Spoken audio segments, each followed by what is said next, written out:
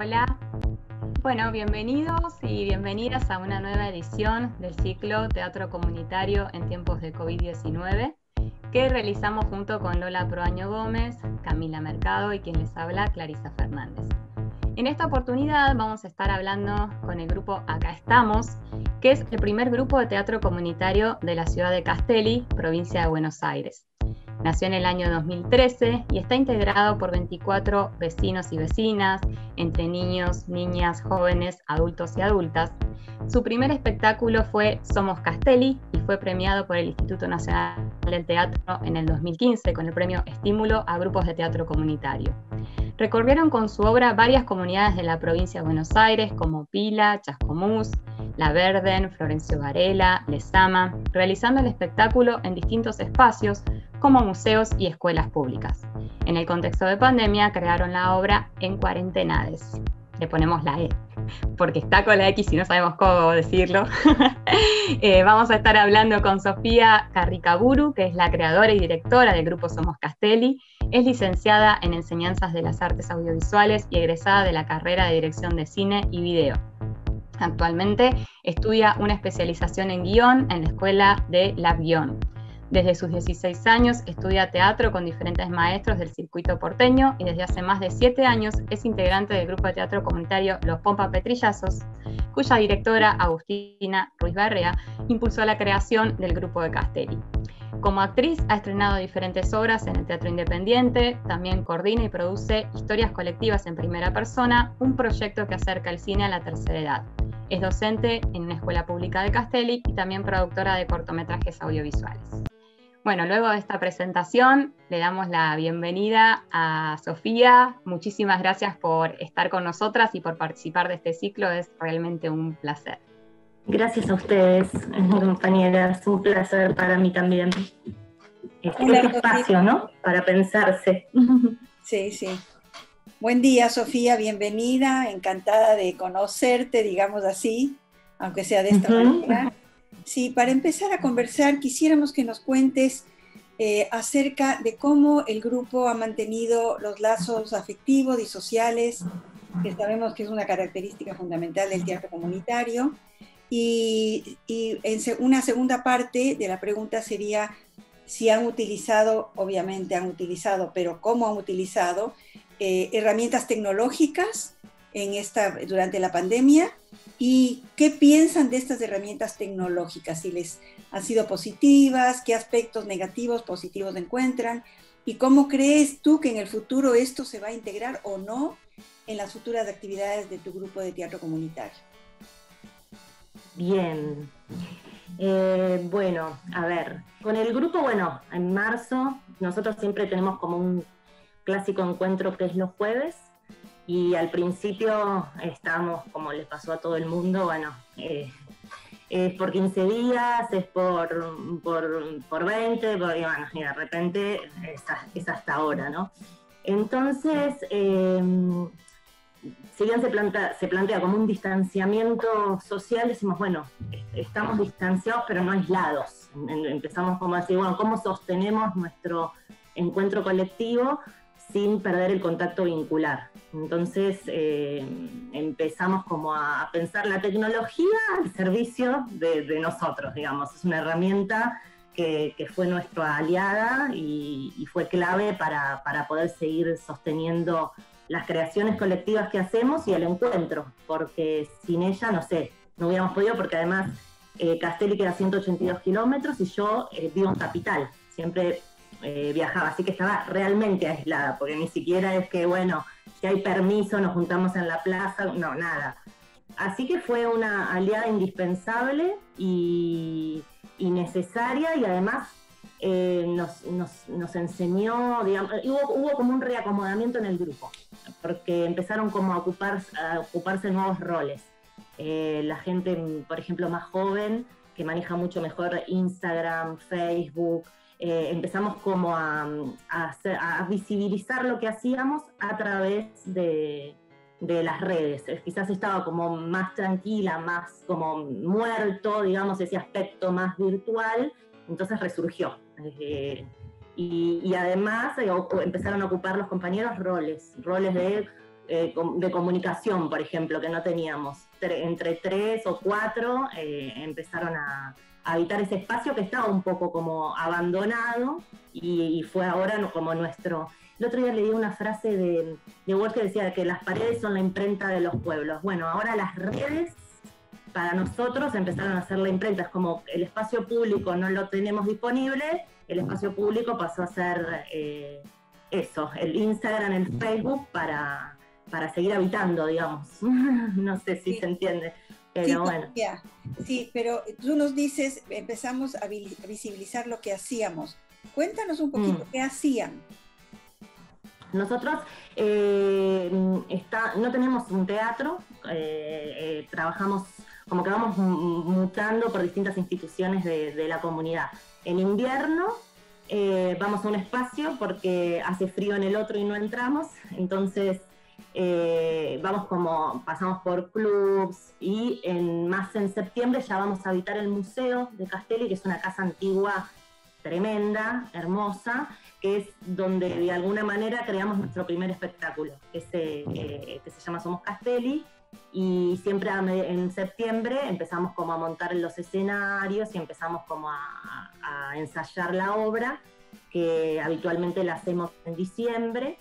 Y, después lo que nos pasa también, que es como una comunidad pequeña, lo que nos empezó a pasar o, nos dimos cuenta era que había que salir de, de Castelli y, andar y salir a, a multiplicar el proyecto o a mostrar lo que hacíamos en otras localidades. Así que eso es algo que, que, nos dimos cuenta ahí haciendo, bueno, tenemos el espectáculo, que cuesta un montón de años eh, crearlo, eh, eh, sostenerlo y, hacer dos funciones o tres, que está bien, la comunidad súper acompaña, el espacio se llena de gente. Entonces, como que decíamos, bueno, salgamos y, y estuvimos recorriendo, no te digo la ruta 2, que la intención era este año seguir en otras comunidades, pero bueno, no pudimos por pandemia, pero la, intención es seguir este, saliendo en gira, que eso me encanta, nos, encanta a todos, porque es una experiencia como grupo que une un montón y después llegar a comunidades, la, la Bardén que la nombraron es un pueblito así, de 800 habitantes,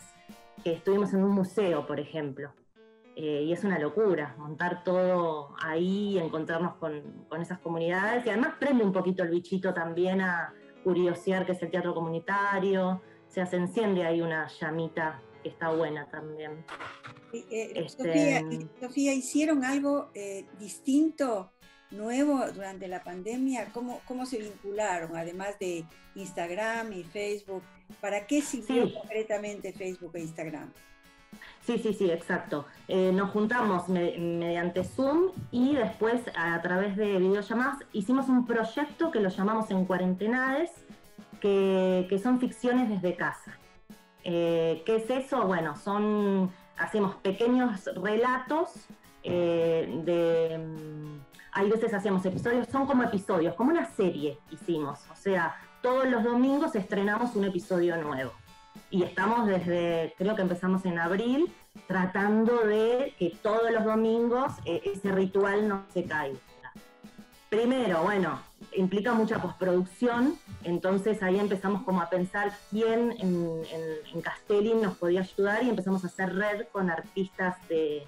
Primero hacia el grupo, bueno, yo me animo a editar, eh, bueno, pasame el premier, eh, cómo se hace, tutorial de acá, tutorial de allá, las más jóvenes. Después, bueno, ¿cómo hacemos para autofilmarnos? Bueno, empezar a, desmenuzar, bueno, la cámara en horizontal, en vertical, la luz, el sonido, todo, todo, lo que implica el lenguaje audiovisual, que es todo un mundo en, en sí mismo, cuento en el cuadro, cuento fuera de cuadro, eh, como en Marco, o sea, fueron sus propios camarógrafos, sus propios vestuaristas, sus propios guionistas, o sea, eh, al principio estrés, crisis, pero, pero nada, después es maravilloso la, y, lo que circula es eso, hacer catarsis con lo que nos estaba pasando a todos. Por lo general empezaron a circular el humor, eh, pero era así, es como, bueno, estamos aislados, en soledad, bueno, eh, hacer catarsis con eso que nos pasaba y son episodios. Además lo que a mí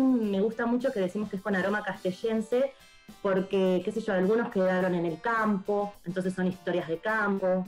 Eh, Y otra cosa que me parece que está buenísima que pasó, nosotros cuando llevamos el teatro a la calle, que montamos, por ejemplo, el espectáculo en el museo, teníamos los vecinos de las casas, les decíamos, hola, disculpame, vamos a cortar la calle, vamos a empezar a hacer el espectáculo, eh, y esa familia de, se sabe la obra de memoria, por ejemplo, y esa persona ahora es parte integrante del grupo.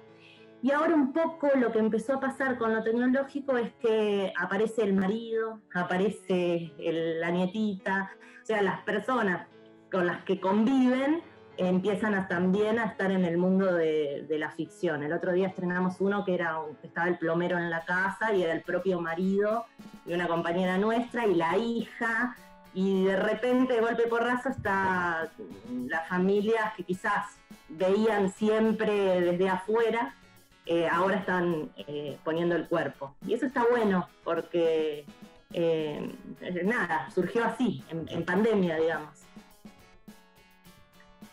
Este, sí, está buenísimo. Como, va, no sé, a mí siempre también igual me llamó la atención que, o sea, nunca lo, lo, profundicé, pero tengo la sensación como que igual el teatro comunitario en sí tiene algo que a veces eh, termina involucrando a más gente de la que directamente está como participando, como que podemos decir es eh, vecina actriz o vecino actor y, activamente, ¿no?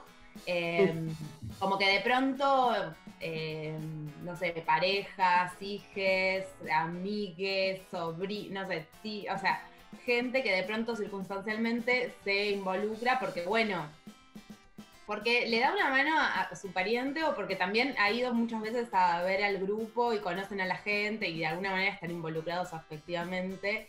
Y en este contexto, ahora que vos contás eso, digo, claro, es mucho más propicio para que las familias o los convivientes se involucren y es tener eh, como un pequeño laboratorio creativo en tu casa, está buenísimo. Sí, total, total, porque eh, eso que decís cuando estamos en el espacio público, eso también pasa porque no es un teatro que está hacia adentro, está hacia afuera. Entonces el vecino pasa a comprar algo a la farmacia y, ay, ¿qué están haciendo? Y, ah, ay, tengo una bolsa con vestuario eh, ay, eh, estamos pensando o, tratando de ver historias del museo, ay, yo tengo mi... Empieza a circular porque estás ahí en la calle, entonces eh, se produce la curiosidad. Y adentro también, tal cual, como vos decís, este, en la familia se empieza a pasar eso, o además es, no sé cómo usar la tecnología, hija, ayúdame, bueno, mamá, poner el celular así. Ayer hablaba con Norma que que, convive con su nieto y nada, el nieto es el director prácticamente, es como la ayuda a repasar la letra, la ayuda a decir corte acá, y es como, qué grande Nico que, que ayudas a tu abuela. Entonces se, empieza a armar ahí un circuito creativo re, re interesante. esta transmisión de saberes. Es Exacto. es re lindo. Em, eso que decís de los saberes es verdad, los, em, empezó a surgir eso en el grupo. Es eh, bueno, yo sé cómo hacer la gorra virtual, por ejemplo, ¿viste? Es como, uy, qué chino, ¿cómo hacemos? Bueno, yo investigo, la hago, comparto. Eh, yo esto, del Premiere, bueno, pasame el Premiere que lo investigo por tutoriales y hago los videos promo de, eh, como, sí, empezar a, circular los saberes o a despertar, ¿viste? Capaz que, que, bueno, no sé, pero intento. También salió otro proyecto que se llama Palabras para sentirnos cerca, que es em, como que empezamos a investigar autores locales que escriban. Entonces, no solo de Castelli, sino de Lesama, de, Dolores, ay, yo conozco a tal, ay, yo conozco a tal payador, ay, yo conozco a un profesor de letras que... Entonces los... Eh, hay un grupo de, hacemos como un mini grupo que se encarga de eso y le ponemos voz a, las palabras, a los escritos de, de los de los autores, digamos, locales, como reafirmar un poco la identidad o sacar del cajón eh, lo que está por el territorio nuestro, digamos, ¿no? Es como, eso también está interesante que pasó. Es muy bueno lo último que cuenta Sofía, porque eso, eso, es, eso es muy revolucionario, ¿no? Porque es abrir el canon de las obras que todo el mundo lee y, hacer escuchar otras voces que vienen de otro lado y que a lo mejor son tan buenas o mejores que las que están en todas las librerías y en todos los eventos. Me parece. Tal cual, sí, sí. Buenísimo. Que al principio empezamos con lo típico, bueno, autores universales. Y después dijimos, che, pero ¿por qué no investigar si hay gente que acá en Castelli escriba o que circule, que circule esa palabra? Y hay, y, y, si cuanto más empezamos a buscar, más, más aparecen. Eh, y además es emocionante, digamos, y, te interpela por... Hay, un autor que a mí me encanta de Dolores, que es un payador, que me fascina. Y sí, tiene un montón de escritas, nos mandó y estábamos como desbordadas con, con su palabra. Eh, sí, eso está bueno también. Nos demanda menos tiempo también de, de recurso tecnológico. O también empezás, che, lo hicimos con un plano general y, es muy formal, parece Virginia Lago a las 3 de la tarde, como empezar a cuestionar lo que, lo que uno hace y, che, bueno, a ver, rompamos el... Eso, como que se produce una parte estética que también te, te interpela o te ayuda a pensar y aprender y entre todos. O, che, fíjate que están mirando, nos mandamos mensajes, che, no miran, no miran al lente de la cámara, sino que están mirando la pantalla como cada uno y cada cual estando atento a que lo que se produzca tenga también calidad, que, eso dignifica, que no te dé vergüenza eh, mostrarlo. ¿Viste? Como, bueno, em, una, otra cosa importante es que, bueno, este editor que se copó, digamos, porque todo es eh, autogestiones. Mira, ahora no hay plata para pagarte la postproducción de, los episodios que estamos haciendo, pero vamos a hacer toda la autogestión para y sí, y se arma red. Hay otra chica que se llama Maggie Balo que nos hace la gráfica. Entonces se va formando como, como una producción eh, que es digna, no sé si decirlo así, pero que, que, tiene trabajo y eso se nota y, nada nos da como ganas mostrar, ¿se entiende? Eh, Sofi, qué, interesante lo que contás. Eh, me quedé enganchada de lo que decías de los de en cuarentenades eh, y del tema de la tecnología y quería hacerte dos preguntas en relación con eso. Eh, la primera era em, en relación con esto de decir, bueno, la catarsis de cómo se vi, de, lo que le está pasando a cada uno ¿no? en este contexto. Eh, bueno, ¿qué, cosas salieron, digo, en, esa, en, esas producciones que vos puedas ver como, como que el teatro, eh, aunque haya sido de esta manera o, o, a través de la virtualidad, pudo, digamos, encauzar? Eh, y la segunda pregunta es si estas cuestiones de la tecnología, que vos decías, bueno, eh, esto que estaba muerto, estas vías que las teníamos pero no las usábamos, bueno, si te parece que van a quedar eh, para, para, después, ¿no? para la posteridad en el grupo, o, incluso quizás las reuniones con gente de la red, o cuestiones que vos veas que ahora se hayan facilitado por el uso de la tecnología, si te parece que son prácticas que van a quedar después de, de este contexto o si son solamente coyunturales. Eh, en cuanto a los guiones que fueron saliendo, hay de todo. Imagínate que estamos desde hay primera temporada y ya vamos por la segunda. Eh, hay desde eso, personas eh, en el campo y tengo, tenemos un compañero que trabaja en el campo y que es renegado con, con, las tecnologías, entonces hay episodios entre madres e hijos, hay eh, hay cumpleaños frustrados de Zoom, hay... Em, ah, hicimos, me olvidé de esto. Tuvimos la suerte de que cada uno tenga los vestuarios de la obra en su casa, porque a veces nos pasa esto, al no tener espacio es, bueno, termina el año, es, bueno, cuidémoslos y cada uno se los lleva. Y hicimos dos o tres episodios en referencia a la obra, que como por lo general casi toda la gente de Castelli conoce de qué van los personajes y, demás. Entonces era un Zoom virtual con los personajes del museo que querían salir porque estaban eh, hartos del aislamiento y discutían con la museóloga, que es medio el, lo que pasa en, la obra. Son como los fantasmas que quieren salir del museo y la museóloga que les dice paren, paren, paren. Entonces ese formato también lo, llevamos al, al, al Zoom al formato Zoom. Que de hecho ahora, si en diciembre podemos, medio la idea es hacer como una especie de, caminata eh, con distanciamiento en formato medio Zoom o hacer algo porque hay necesidad de encuentro físico, por más que estemos este, Eh, pero hay, sí, como temas universales, eh, separaciones, eh, qué sé yo, de terapia, hay, gente que, hace terapia y, situaciones así. Todo muy también atravesado por el humor. Hubo un homenaje, también tenemos una compañera que es enfermera, que está a full trabajando en el hospital, entonces hubo también otro episodio en referencia a, a, los trabajadores de la salud. Ahora está por salir uno que es una compañera que estaba en su casa y un perro de la calle eh, se le instaló y tuvo todo como un proceso de, vínculo con ese perro y el episodio que sale ahora en, un tiempito tiene que ver con eso. O sea, son cosas que les van pasando que hacemos como el formato de tirar ideas y después lo tratamos de estructurar en esto que también rige, que es, bueno, no más de tantos minutos, que tenga ritmo, eh, eh, eh, nada, la, estructura dramática del audiovisual para, para que sea interesante de ver, ¿no? O tratamos de hacer lo posible. Este, y después van al mercado y dicen, che, te vi, este, muy bueno, esas cosas que empiezan a pasar que está, que está re bueno.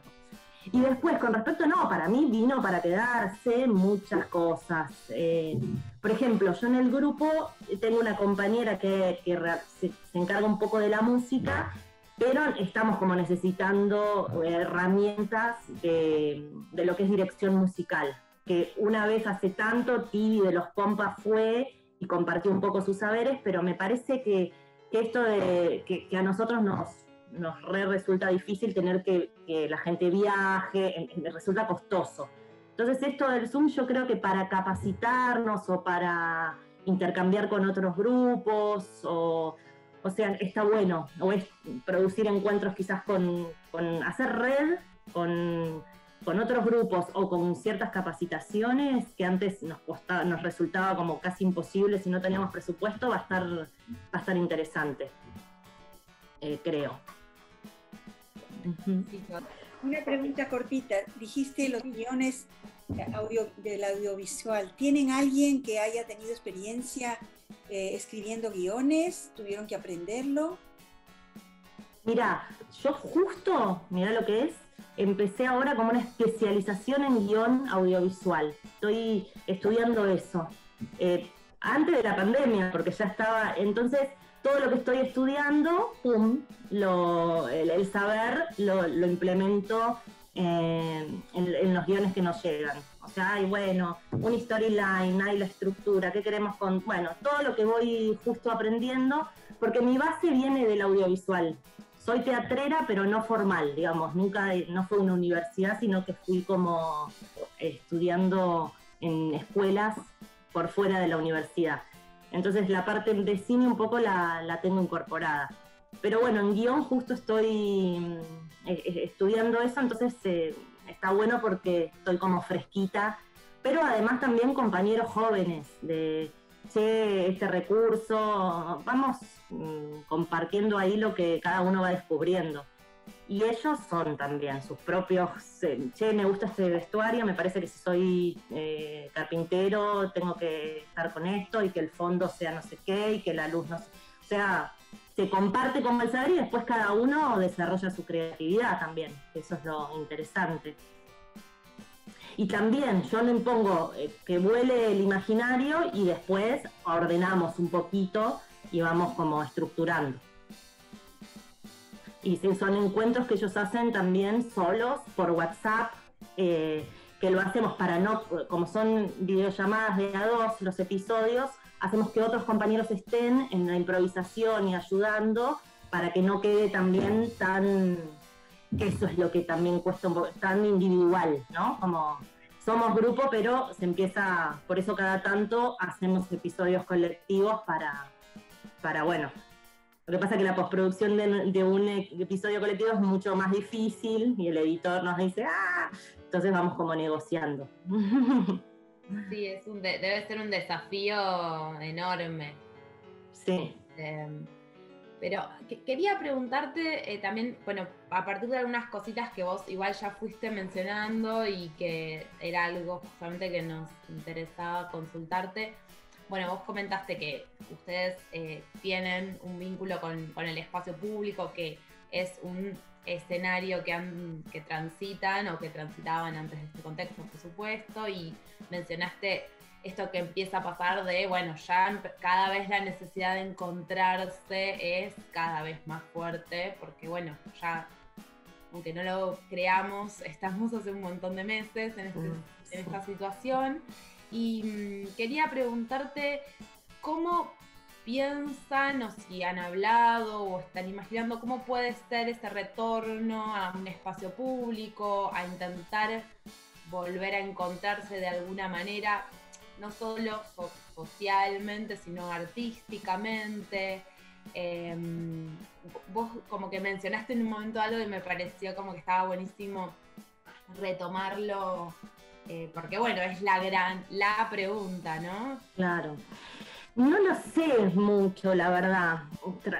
Trazamos un plan para el año que viene que es como si, si sigue esto, quizás vamos a explorar un poco el radioteatro, o sea, hacer como un intermedio para no frustrarnos en el camino. Decir, bueno, si hasta que no salga la vacuna va a estar muy complicado. Este, vamos a ir y venir todo el tiempo. Entonces, eh, tener como, como en la caja de herramientas, bueno, proyectos que sigan sosteniendo si seguimos este, aislados este contacto vincular, entonces hay como juego o hablado con el grupo esto de hacer, por ejemplo, el año que viene un radioteatro.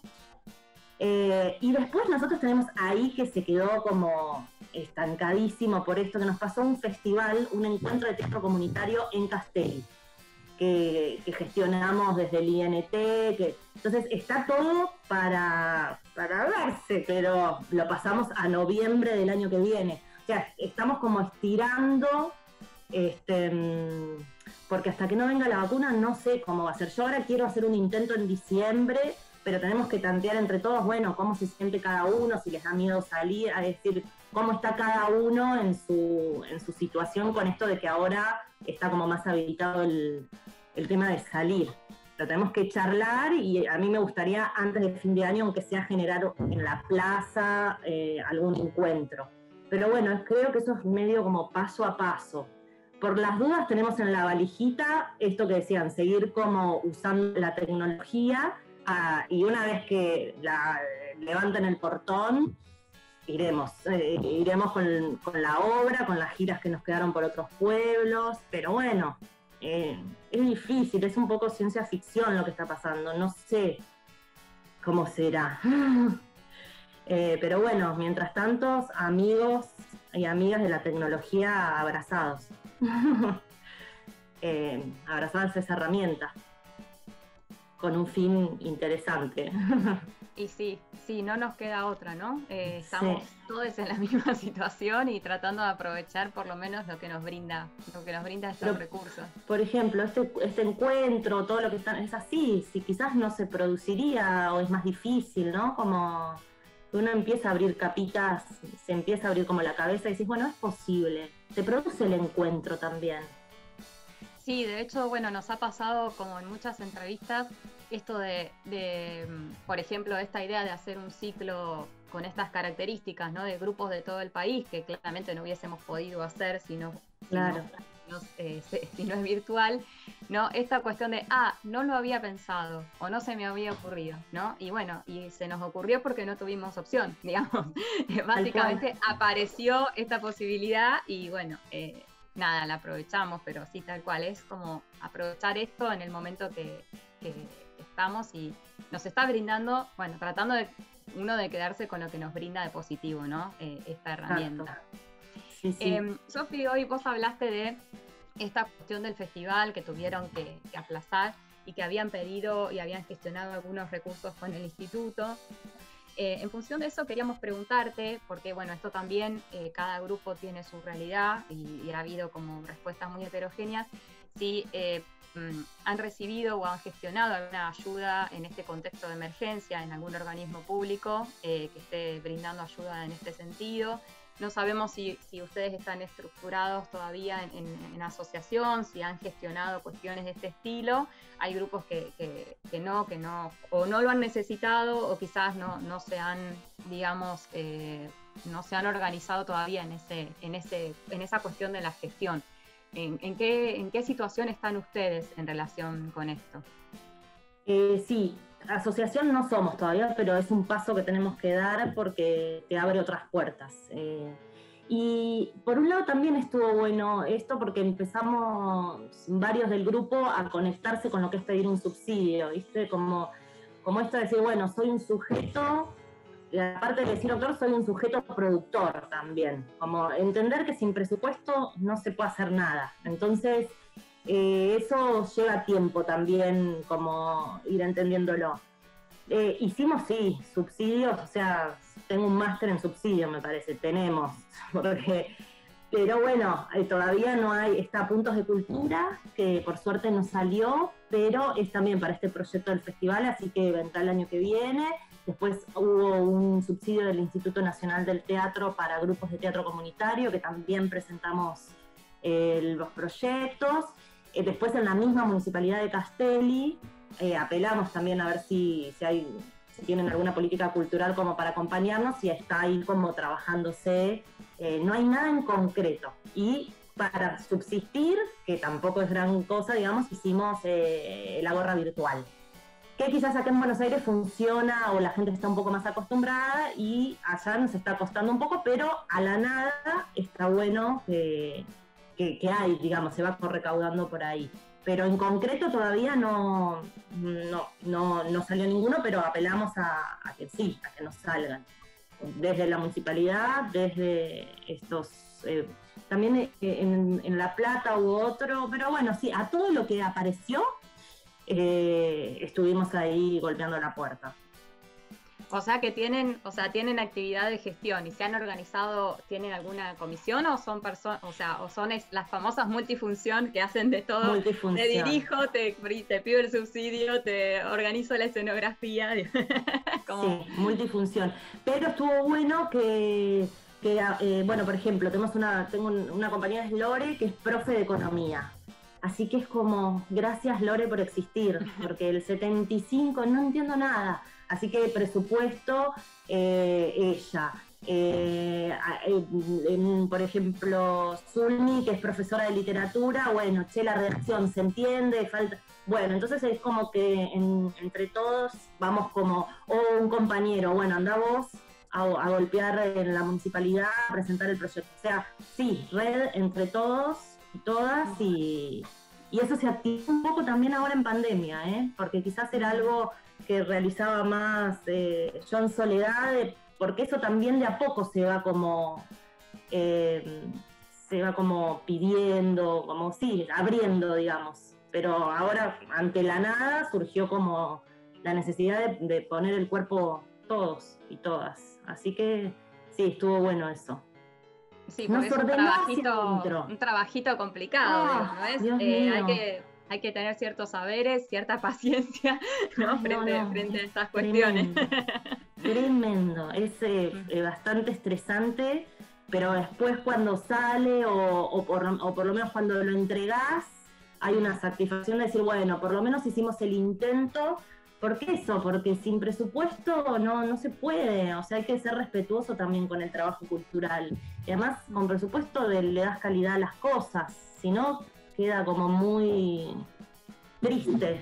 Que eso lo aprendí mucho en los Pompa Petrillazos, con, siendo integrante de, los Pompa, que tienen una calidad en las producciones que son así como sacadas.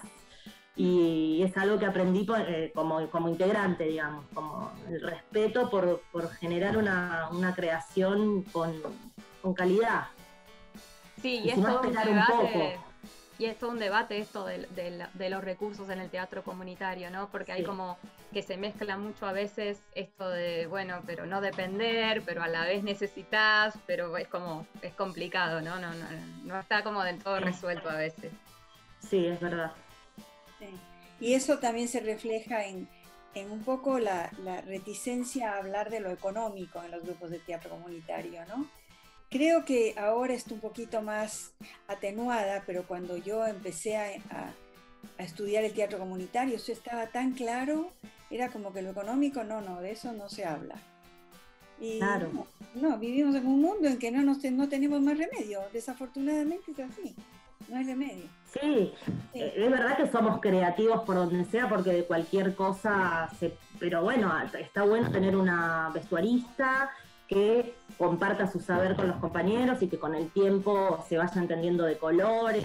está bueno tener una cabeza de un escenógrafo que viaje y que sueñe la historia, o sea, eh, porque eso es, es, como un equipo que le da como, no sé, más potencia a lo que, a lo que se hace. Y después sí, tal cual, entre, entre todos hacemos la escenografía, pintamos, entre todos buscamos los vestuarios, eso siempre, pero una base para, poder volar, porque si no, eh, es difícil. Sí, además... O sea, que, que te den ganas de ver a vos lo, propio que estás a ser el espectador de eso. Si digo, ay, no quiero invitar a nadie, no. Es como estar como orgulloso del trabajo colectivo. Además lleva un montón de tiempo, mucho, mucha entrega, mucho sacrificio. De, entonces, que cuando sale a la luz esté bueno.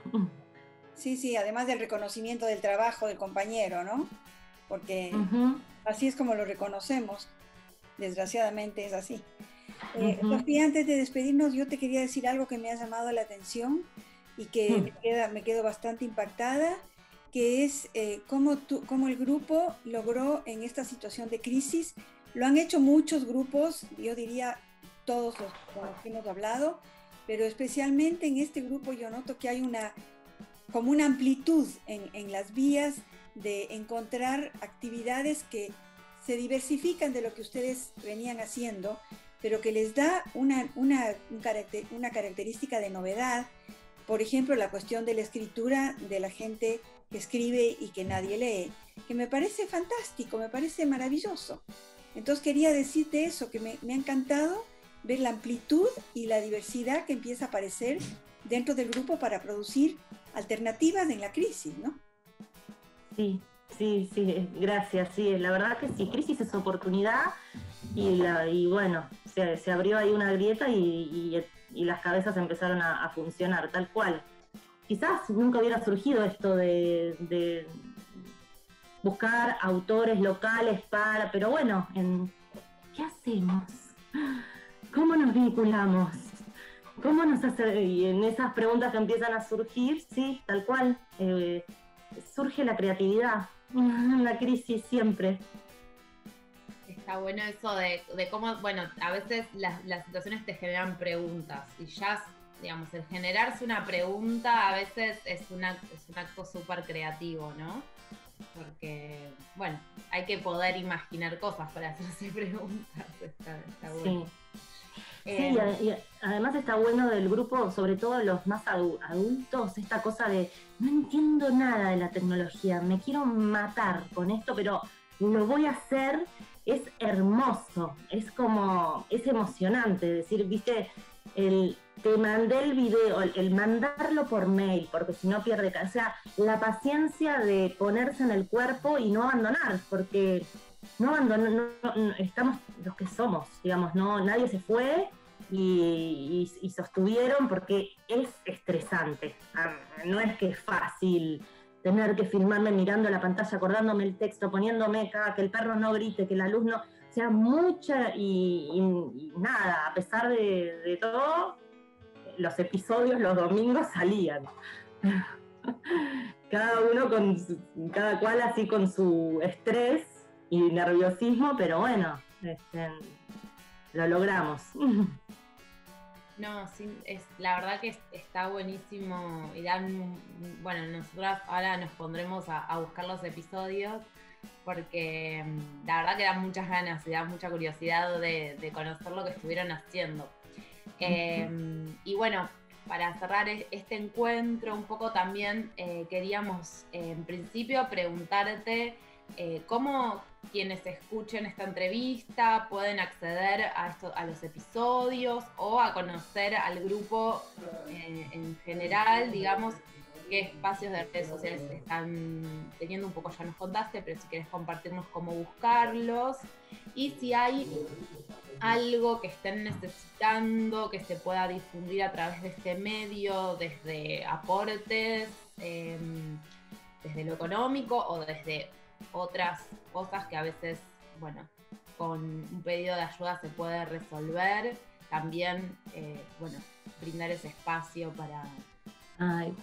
Gracias, Cami. Sí, eh, a ver, tenemos el Instagram, que, eso es gracioso también, porque tenemos tres Instagram, ¿viste? Esta cosa de haberlo abajo, pero el que, el, que es, eh, el que estamos usando tiene una carita de un títere que es de Castelli.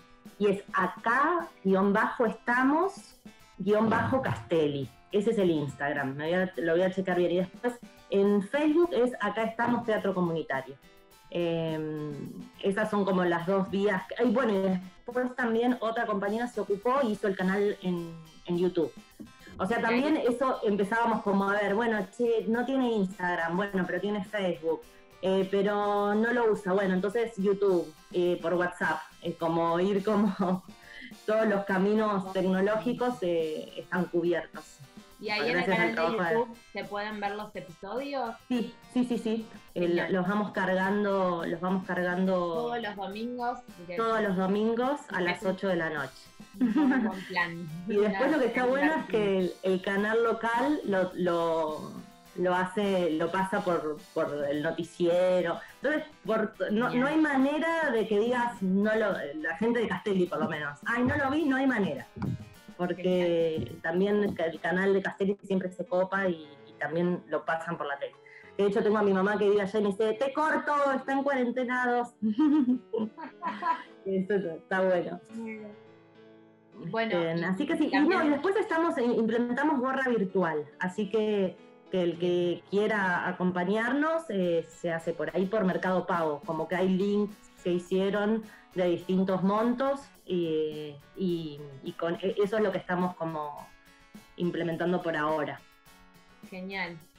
Bueno, ha sido realmente un placer eh, charlar con vos y conocer el grupo. Espero que ya, digamos, lo de que me contás de noviembre me parece como un Las esperamos, las esperemos que, digamos, es como una historia que Vengan, de verdad, noviembre del año que viene, encuentro en Castelli, 182 kilómetros de la capital, no es tan lejos, una horita y media, dos, hay tren, hay, hay todo, y lugar para quedarse van a tener así, así vienen, obvio. Buena Vamos hablando. Ay, qué, bueno tener distanciamiento físico, al aire libre, eso es lo que tiene el teatro con nosotros siempre trabajamos en el espacio público, así que parece que ahora se puede en el espacio público, bueno, aunque sea con distanciamiento, lo haremos. No importa. Bueno, esperemos entonces eso y muchas gracias. No, a ustedes, a, ustedes, la verdad. Muchas gracias. Muchísimas gracias, Sofi, por todo, por haber estado gracias en este a ustedes. Gracias a ustedes y después voy a entrar al canal para seguir viendo las otras, los otros compañeros. Bueno, dale. Te mandamos un gran abrazo y el próximo que presencial. Así que... Chao. un abrazo grande. Nos vemos. Gracias. Un abrazo, chicas.